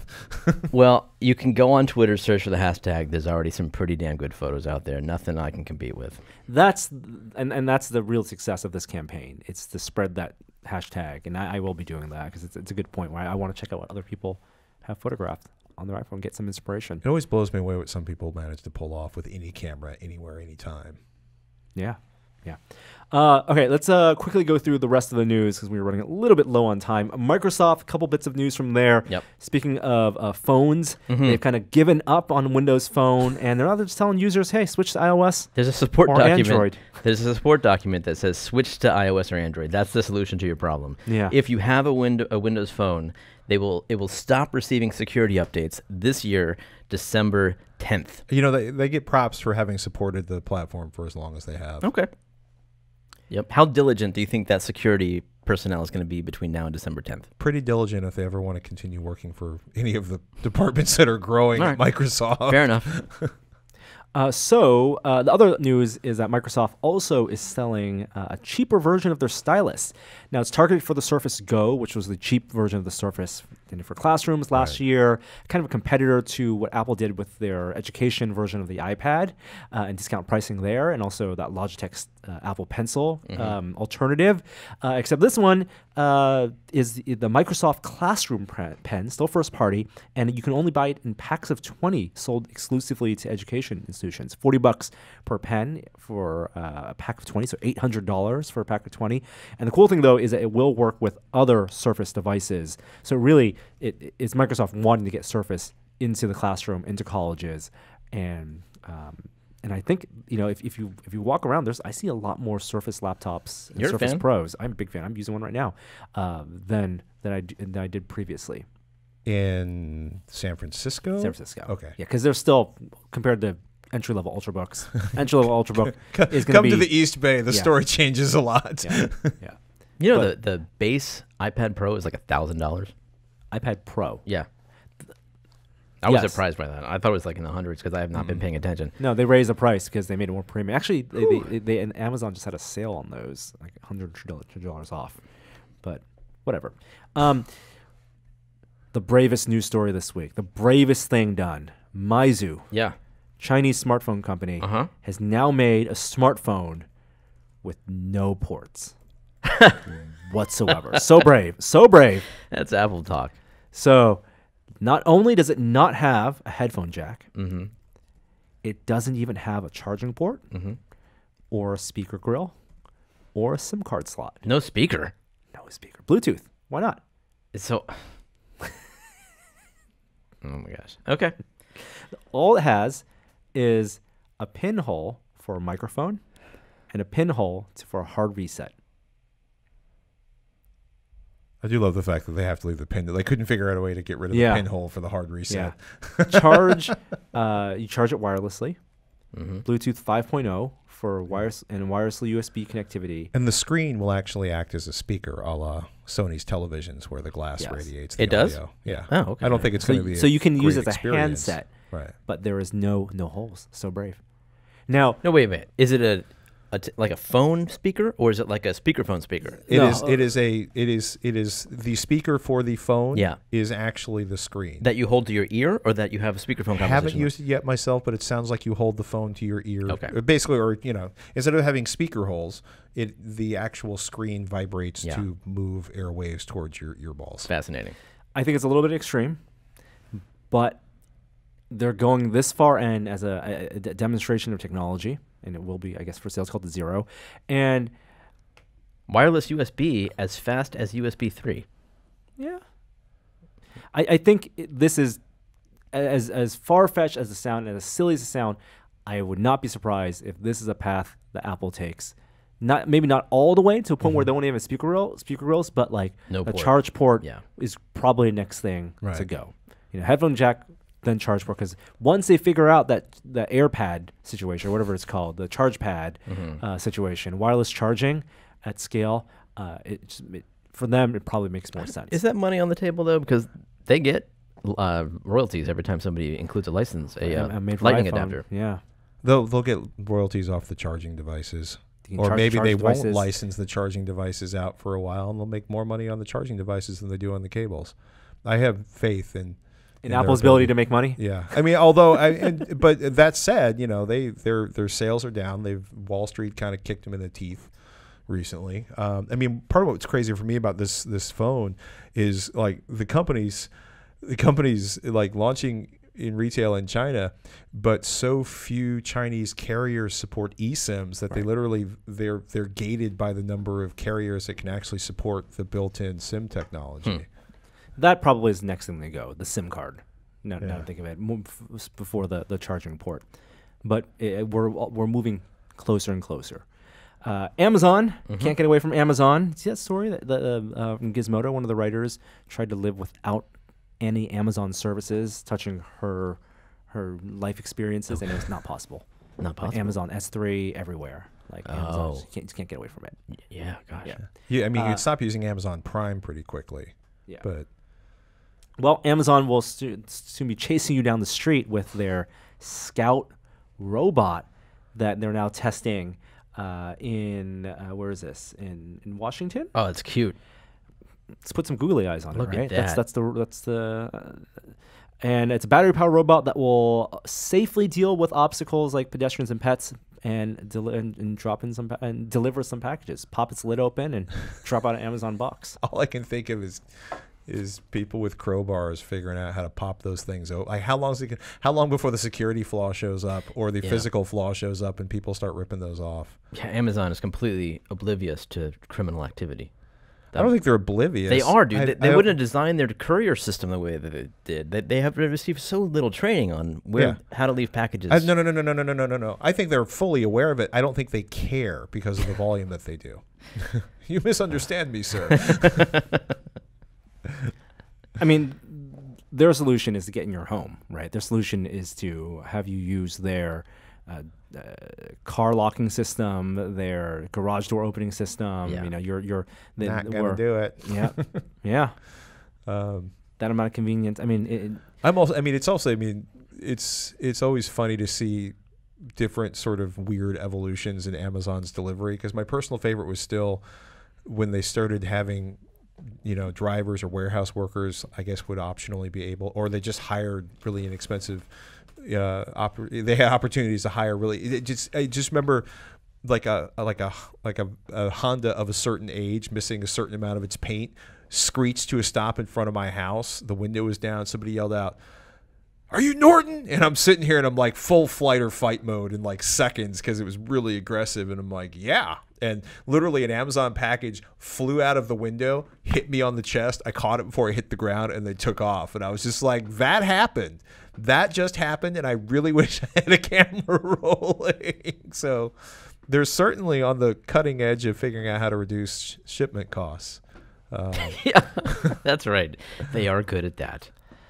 all right. uh, A little bit of a fun story. We got some uh, thoughts from John Carmack on Twitter. He pontificates from time to time with interesting experimental ideas, uh, things he's been thinking about, and recently audio is something he's been thinking about. Not necessarily as it pertains to VR, but classic video games. He tweeted, "It would be interesting to see experimental audio-only upgrades to classic games to probe how much impact can be made, especially essentially given the unlimited quality and diversity." Huh. Then he dynamic suggests- music playback, uh, improved Yeah. Pac-Man. And, I, and I would answer, there is already a Pac-Man version that has really great music, and that's like the, the Pac-Man Championship Edition. Yeah, but he's talking about same graphics. I imagine he's talking about same gameplay, same controls, same graphics, just upgraded audio. And what type of audio is he talking about? Positional audio or just like Would- I Like just want to hear soundtrack. Flight of the Valkyries every time Pac-Man eats a power pellet. sky's the limit. You know, he talks about he talks about a dynamic soundtrack, so it would change based on how many ghosts are blue, based on you know who's close to you, Right. You know, based on how how far away you are from the last pellet, things like that to amp it up, amp up the drama. At, at that point, it would be the disassociation would be that the graphics are so low fidelity Yeah. that why not just make it look a little bit better? Like that would. But you I, I can't think test for I think for him this is like a Gedenkins experiment where he's he's looking at as somebody who has been classically obsessed with visuals. And don't get me wrong, like going back to Quake, I have happy things to say about the horrible sound effects in the man's games. But I think he's you know I don't know if he was you know was he sitting in a movie one day and realizing that he wasn't really responding to the images, but he was responding to the soundtrack, and then he starts pulling that into the gaming universe. I mean, it's a really it's a really curious concept. I would say Tetris Effect. That's your answer right there.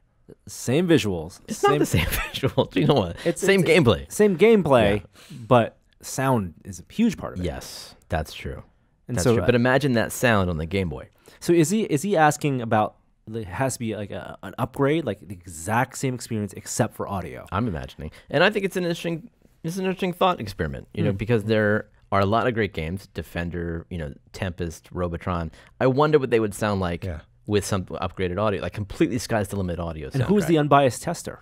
New is it someone who's never played that game Yes. before? Well, that actually shouldn't be that hard to find. so for this day them, it would just be like they would just see that disconnect between the image and the video. I mean, think and- about it, like the image and the double-blind laboratory testing, like full-on college, you know, graduate program where they yank in a bunch of people. Have you ever played this video game, Yeah. or could you identify this? You know, and then if they say no, then they go in and they, you know, they they strap them into an EKG and you, you know have them play the game. I bet he's got a point because music does. It's like they say with with movies. Uh, uh, audio is seventy percent of what you see. You know, I think that they'd probably have the same experience with games. It's. I mean, uh, I don't think Steve Lynn and Mike Micah are the target audience for this kind of thing. You know, I mean, I Right. think uh, there's a lot of purists who would be offended by this.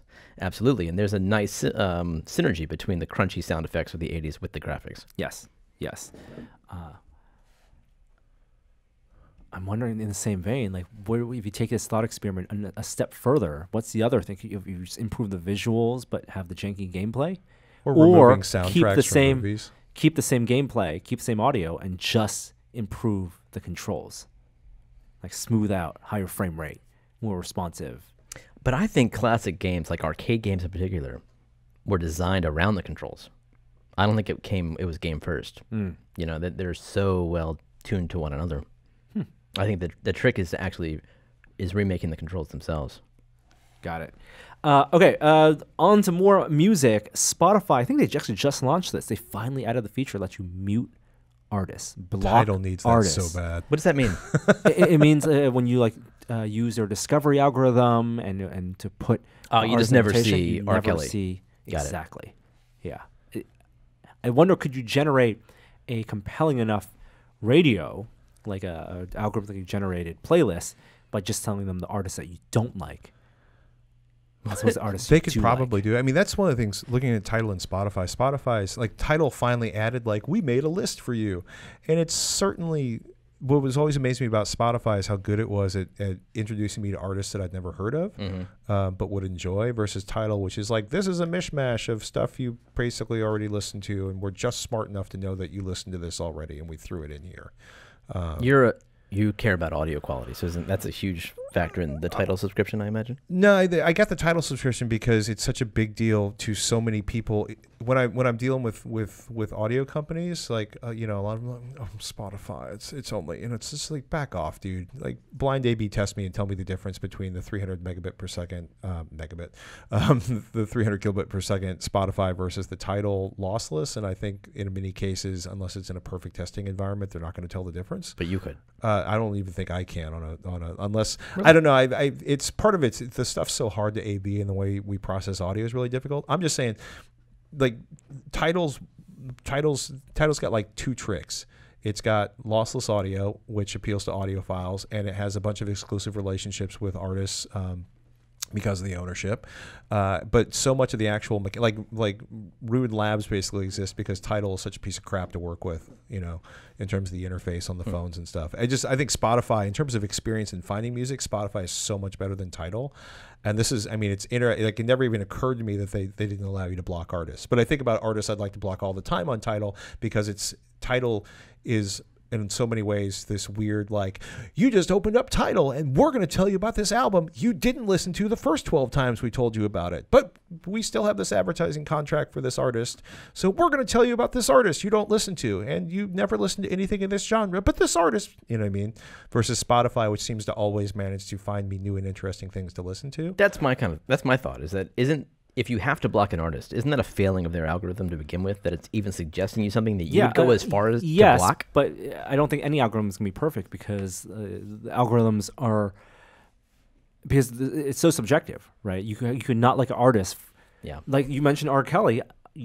We don't listen to R. Kelly for reasons not Yeah. related to his music, and Or so I would like to mute him. you were a huge Drake fan and you were at CES and you got tickets for the Drake show and Drake showed up like two and a half hours late, played for 30 minutes, and you were so pissed off you just don't want to hear Drake for a while. Block. There you go. Spotify also is rumored to finally be releasing a physical device, a in-car player, uh, which people think will uh, be about hundred dollars. Apparently, some Spotify users were presented with an ad, a pre-order ad in their apps last year, teasing this player. What the hell is this? So it's a dedicated playback device that connects over Bluetooth to your cars, and so you could play Spotify as opposed to using your phone. And you pay an increased subscription fee, like a thirteen dollars a month subscription fee, to get 4G connectivity and play music. Oh, it's And it's internet connected. internet- Wasn't this supposed to be. Mighty? Uh, I, I don't know. I mean, Mighty was one that's supposed to be like, because I'm laughing because this thing, I've never actually seen one in the real world, but Mighty, bemighty.com, they've been talking about like, it is a, a, it is a digital audio player for Spotify. Yeah, I mean, and I, that is exactly what it is, and it goes to show that like even though you have the one device that does everything, My phone. your phone, sometimes it's better to have discrete devices just for the user experience. There are some really good, you know, discrete devices, especially for, for streaming Spotify and Tidal and stuff um, that have come out in the last year from FiiO and, and some other companies. And it's a stopgap for them not having relationships with car companies to build the service into the car companies, into the cars themselves. Well, but it's built into the operating systems of the phones that people connect to their cars. So Yeah. Yeah. I don't know. It's still Bluetooth. Just get it blessed by CarPlay and app, you know, Android Auto, and then it's practically a native app. Then you got to work through Apple. Then you got to pay them fees. Do you? I always wondered about that. I would be shocked if you didn't, especially in a universe with Apple Music. Yeah. Uh, speaking of some car news, uh, Tesla. Let's go back to some Tesla news. Tesla increased their supercharger prices. Makes it a little less competitive than no. in some places where gas is cheap in the country. Uh, there was enough backlash on this that Tesla then backed down, and while the prices are still higher on Not the all, supercharger, yeah, not all the way back down. they met somewhere in the middle. Mm-hmm. And their explanation for Tesla is that uh, from Tesla is that this this price increase is to help expand the supercharger network. But this also comes on news that Tesla has been is planning on laying off some of their employees, a significant portion of their workforce, um, to maintain profitability and and grow because they're expected to launch a couple new cars in the next year or two. Interesting that there's so much more Tesla news on our podcast in the past few months, Norm. Mm, especially since you know, last April. That's interesting. Yeah, but it's been popping up in my Google feeds. That's weird. Uh, last bit of Tesla news, was, I promise. Uh, Elon tweeted that uh, 360 or Sentry Mode will soon be unveiled. What's that? It's uh, what people are hoping. There's no details, no confirmation yet. It's a 360 camera mode, so that while you're parked, you can leave the camera on and record everything happening around your car Huh. for people who may be damaging your car. Ooh, A Sentry record dash cam, but using all the cameras around the car. sounds like. James Bond. I mean, there's going to be advanced summon mode that's coming out soon, and that will be right out of the James Bond film. And film, then the defensive mode. where you, you drive the car with your phone. You can turn and not just go forward and backward. You mean like in a garage? Right now, yeah. Well, right now you can go forward and backward with summon mode. Yeah. But now with the advanced summon mode, theoretically you can actually turn.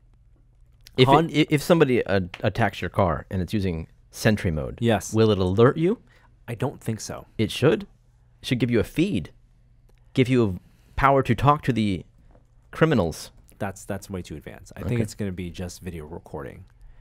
And you know your your mileage may vary depending where you live, whether you can actually get the cops to do anything about it. Yeah. Honda um, is going to be uh, showing off its new EV at the Geneva Motor Show in March. Uh, this is their urban EV, and it doesn't look like the Civic. It kind of looks a little bulbous, a little. It's not going to look like this. That's the, what that's the official Honda sketch. Uh huh. It, it kind of looks like a, a WALL-E era robot. The eyes are perfectly circular. It looks like a bumper car, actually. yeah. I don't EVs don't need to look s- so different. Right? You don't, you don't think so? no, there's no reason to stand out and say, "Look at me, I'm an EV." Split them with the cars. Kind of feel like they should. People don't are afraid. Of, I'm afraid of change. How do you f- how do you feel about EVs, Patrick Norton? You, you're kind of a ICE man, right? I, I love my diesel truck. It's you know what? As soon as I can figure out a way to, oh man, um, but you're also a technophile. How do you how do those two clash? sometimes you just want delete expletive to run, which is why a lot of people I know still run Windows 7 because they don't have to deal with Windows 10 creating complications in their life. Uh, no, it's I I I. I apologize. I can't think of the man's name, but he lives in the East Bay, and he's the guy who figured out he reversed engineered essentially the systems to allow you to do things like reset um, the controls the for uh, uh, Teslas after they've been through an accident, right? Because Tesla basically, as soon as a car has an accident, they basically want to disappear in a black hole. They don't want to sell parts. They don't want it. They they want you to basically like make the car disappear and produce a new one. Um, because they have some long-term issues. There's whatever Tesla's complicated, but he has been he teaches people how to he, he reverse engineered the the connection into to be able to remote connect into the the car and upgrade the firmware and reset Yeah. the sensors and rebuild them and you know he's got this crazy I want to say it's the motor from a X and I think he, he plans on repurposing it into a motor for a sprinter, which means it has a lot of torque. I would love a flat torque curve, which you get from an electric engine. I would love, you know, any of a number of the electric motors that are available, but currently it would be difficult for the charging environment I have and the type of travel I do. Uh, as soon as I get to the point where Yeah. where I can like swap a battery pack out of my truck, you know, at the local whatever it's called. You know what I mean? Like, or I can supercharge a truck. It'll be really, really tempting. But for a lot of stuff I do, like I can easily get 100 miles from, you know, a town or a highway. So, you know, to have a the the range I need is really difficult to replace electricity currently. So it's, it's of- not about a deep seated love of the smell of gasoline. I mean, I love the smell of gasoline, but I also I love the flat torque curve is a lot more you know obscene and delightful to me than the smell of 116 octane racing All right, fuel. good. Um, but you know, it's also the expense of an electric vehicle right now Yeah. is prohibitive and kind of brutal, But it's, especially ear- it's early days. yeah. But it's you know I have friends that are like you know they're killing the electric car. It's like no, dude. Like if if the average family of four in the United States lives on like forty or fifty grand a year, paying an extra thirteen thousand dollars for an electric car is a brutal and difficult thing. You know what I mean? So like I would love you know as soon as the the gigafactory scales up and everybody has cheap batteries, you know I'll be happy to to figure out how to put the electric engine in my car. I also want to see Teslas, you know, what they look like when they're seven or eight years old at this point Um, because they they seem to be either amazing or nightmarish. And I know like two or three people personally who have had to have wheel motors swapped on Tesla Model S's, and that just seems really expensive to amortize into the cost of a vehicle they're producing. You know, the Model 3 seem to be better, except one friend of mine with the Model 3, I think 20% of his ownership time it's been in the shop for repairs. So, you know, I'm curious and excited, and I want I want to see Tesla succeed in the worst possible way, but uh, I don't have the money to help them do that right now. Awesome. All right. I Sorry. think we are out of time Out of time. on the podcast, unfortunately. Uh, so we're gonna not do a full VR minute. Uh, I will give a recommendation. Variety has a story about um, what happened with Meta, the AR company that we checked out uh, over two years ago now, um, and they had a uh, they, they're basically bankrupt and no, I mean it's it's sold. It's a failed company, unfortunately. Um, and so that AR is very hard. And even though you know they had a big TED talk and a, a second generation product, um, it's it's not easy to, to figure this out. We're still very very early days, and there'll be a lot of failure before Yeah. we have successes. Fail early, fail often. Yep. Um, I think that's it. Uh, Patrick, Sir. where can people find you, and what's been going on with TekThing? Oh man, uh, we did two weeks of CES coverage, and we've got a review of a product I can't talk about coming out next week. Um, but uh, What kind of product? a computer. and actually, Shannon had some fun. She got Linux running on a Huawei MateBook X this week, and talks a bunch about how much better uh, laptop support is for Linux these days, and actually some of the performance issues. So you may not have to buy a specific Linux branded notebook anymore. Uh, we got pretty geeky on that one. Very cool. And people can find you on Twitter at Patrick Norton. Yes, please. Alrighty. Uh, Jeremy, Yes. Do you want an outro? I do want an outro. What is uh what is your Twitter handle, Norman Chen? at Enchan, you're at Jareware. slower, slower. uh, and we got some fun videos on the site. Uh, if you haven't checked it out yet, we're starting to release our series that Adam did with uh, Terry English, in which he um, spent uh, two weeks um, learning to build um, Arthurian armor out of aluminum, just like the film uh, Excalibur. Uh, so that's on our YouTube channel as well. We also have some test videos. Sean reviewed uh, Dremel's new 3D printer. Um, and we have some how-tos about making SLA curing stations coming out soon. You have a headphone and review I uh, reviewed uh, yes the Sony headphone re- uh, the 1000 XM3s, which I, I love very much.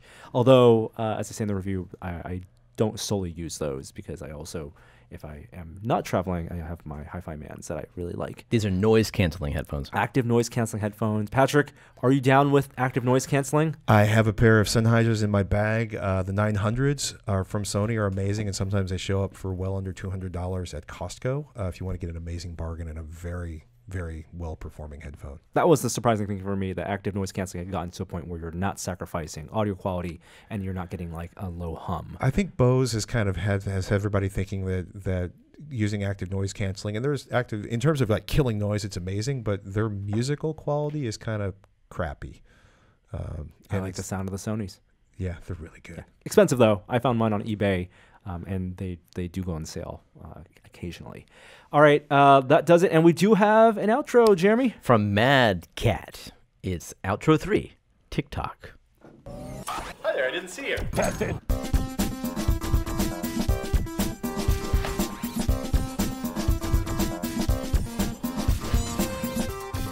Don't you start with tick? I want to say talk, tick tock, tick tick tock, tock tick tick talk. tick tock tock. Oh my god. That's it. That was pretty awesome. I think this episode will be ripe for outro material. If you want to make an outro, you can just search Tested Podcast Outro. Head to the site and you can download the template, upload it to SoundCloud, post in the co- uh, forums, or just email it to me, norman at and we'll play one in the future. Thanks for listening. We'll see you next time. And we're out. Tro.